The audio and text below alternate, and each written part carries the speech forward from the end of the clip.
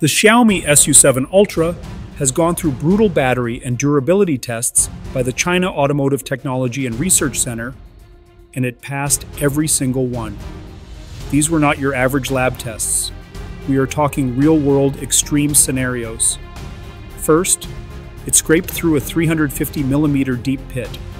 Then, it hit speed bumps at 50 kilometers per hour and powered through rough gravel roads at 100 kilometers per hour.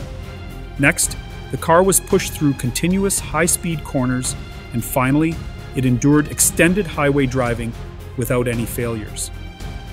Xiaomi's engineering is clearly next level.